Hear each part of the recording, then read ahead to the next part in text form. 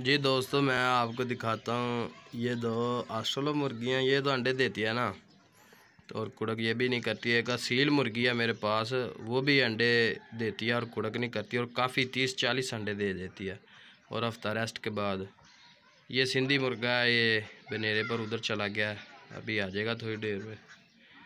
तो एक खुडे में है इधर। तो वो भी मैं आपको चेक करवाता हूँ।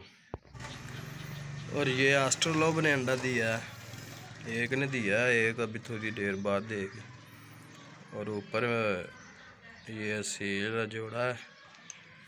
मुर्गा जो ये आपको दिखाता हूँ। मुर्गा जो मियाँ वाली क्रास है और जो मुर्गी है। ये भी मियाँ वाली क्रास है, लेकिन थोड़ा सा ना ब्लड लाइन का फ़र्क देख लें जी, ये सील मुर्गे को मैंने ना एक दो दिन में इसे ज़िबा करके खा देना तो आपको दिखा लूँ अब।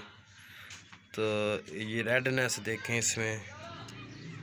तीन के जी से ऊपर इसका वेट है, ये देखें। और ये मादी की क्वालिटी ये है कि ये अंडे बहुत देती है और कुड़क नहीं करती।